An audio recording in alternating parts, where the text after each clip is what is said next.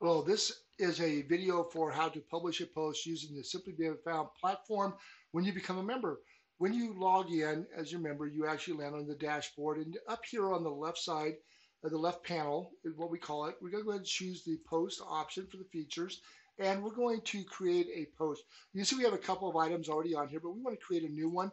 So we're going to select the create a post option. So when we do that, we, we land here on this screen, which are, or mode, whatever you want to call it. And we want to do is we recommend that you add a photo. You don't have to. Photos just give a lot more value to the post when you're doing that. So you upload that information from your computer, your, your mobile device, wherever you have it stored. And once this is image is displayed, you may decide that it's not quite exactly what you want. You don't have any special tools that you need. Right inside, we have a cropping tool where you can resize the image. You can see it here on the right. And once you get the image exactly where you want it, and it's looking the way you want, you're gonna come down here and we're gonna choose this crop image, and we select that, and there's the image that's gonna display on your post. Next, we wanna talk about the information in your post. This is where you get a chance to tell your story. Talk about your business, talk about your location, talk about the, the products, the services, the jobs that you've done, the, infor- the information that's going to help connect the customer, when they actually do a search, they're going to actually find you based on some of the information you're putting on this post. to gives it more pertinent information. So we've already pre-written this up, and right here you're going to put in the information.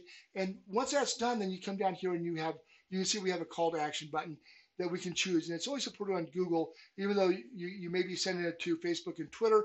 But on Google, we have this extra drop down uh, that we can use. And we have here all the different call to actions. We can do a book, order online, buy, learn more, sign up. And the call now, which is going to display your phone number, that when somebody's on a mobile device, when they push that, it's going to call you directly. But it, it's all information that's going to give you more value on the Google business profile when they when they look for you. We're going to go ahead and we're going to choose the book information. And when we do that, it's going to you have to put in your website, your landing page, whatever your web address or URL uh, information out there. And once that's inserted and put in place, then you can come down and you can do the publish now. When you hit that, you successfully created the post. And when you come on to your, when you come back out of this, you're going to see that the post is published and you can see the information. You can see the book now. information is being displayed here. They'll work on Google. Let's go up here. We can view. We can do a preview of what it's going to look like on Google, and you can see the image there with the information in the book now. Once that's done, it's it's sent out to the networks every day. We we update this information so that you stay current and you stay in front of people and give you a higher value when that search happens online.